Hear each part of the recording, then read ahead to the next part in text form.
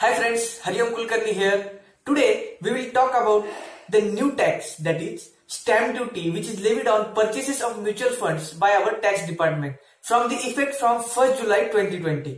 तो जानने के लिए वीडियो को पूरा देखें। अगर अभी तक आपने मेरे चैनल को सब्सक्राइब नहीं किया तो चैनल को सब्सक्राइब कीजिए। तो चलिए शुरू करते हैं। क्या हो रहा था कि अपना टैक्स डिपार्टमेंट म्यूचुअल फंड्स पे स्टैंप ड्यूटी लगाना चाहता था। तो उन्होंने पहले डेट रखी थी मार्च फिर एक्सटेंड करके उसका भी जुलाई किया किया गया। और फाइनली उस पर स्टैम्प ड्यूटी अट्रैक्ट की गई। जो भी आप म्यूचुअल फंड्स में परचेस करेंगे मतलब कोई भी यूनिट्स आप कोई भी म्यूचुअल फंड हाउस से परचेस करेंगे तो उस पर आपको एक मिनिमम अमाउंट मतलब एक सर्टन परसेंटेज पे स्टैम्प ड्यूटी देना पड़ेगी।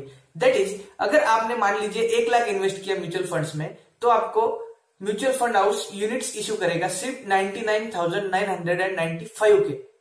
मतलब आपका जो पाँच रुपए है बचे वाला मतलब आपको यूनिट्स जो अलोकेट हो गए, वो हो गए ninety nine thousand nine hundred ninety five rupees के, और आपकी जो पाँच रुपए है, वो आपकी स्टैम्प ड्यूटी अट्रैक्ट होती है। मीन्स ये आपके डायरेक्ट गवर्नमेंट आपसे डिडक्ट कर लेती है एज ए स्टैम्प ड्यूटी तो स्टैम्प ड्यूटी क्या है?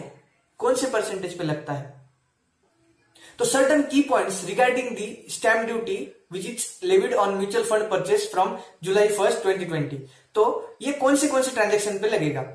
तो लमसम इन्वेस्टमेंट्स मतलब आप कभी भी इकट्ठा मतलब एक lump sum amount mutual funds में इन्वेस्ट करते हो तो भी आपको स्टैम्प ड्यूटी लगेगी। Second systematic investment plan that is SIP मगर अगर मंथली कुछ फिक्स अमाउंट आप म्यूचुअल फंड्स में इन्वेस्ट करते हो तो भी आपको स्टैम्प ड्यूटी देना पड़ेगी। सिस्टमेटिक ट्रांसफ़र प्लान मतलब कोई भी यूनिट्स आप ट्रांसफ़र करते हो, उस पर भी आपको स्टैम्प ड्यूटी लग जाएगी। और डिविडेंड री इन्वेस्टमेंट मीन्स अगर आपने कोई डिविडेंड पे आउट के स्कीम में इन्वेस्ट किया है म्यूचुअल फंड्स में, और वो कंपनी ने, वो पर्टिकुलर कंपनी ने आपको डिविडेंड पे किया है और वही आपने री इन्वेस्ट कर दिया।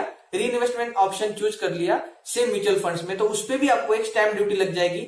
स्टैम्प ड्यूटी का रेट है रेट तय किया गया है point zero zero five percent मतलब एक लाख के ट्रांजेक्शन पे आपको पाँच रुपए स्टैम्प ड्यूटी देना पड़ेगी।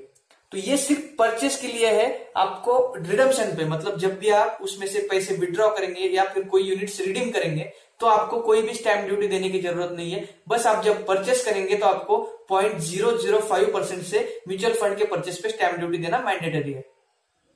One important point in this amendment is that the duty in case of transfer of mutual fund transfer between से to demat between will be at the rate of zero point zero one five percent means normal case में वो थी zero point zero zero five percent लेकिन अगर कोई भी units आप mutual fund मतलब डिमेट अकाउंट से ट्रांसफ़र करते हो, एक डिमेट अकाउंट से दूसरे डिमेट अकाउंट में तो आपको स्टैम्प ड्यूटी लग जाएँगी zero point zero one five percentage के हिसाब से।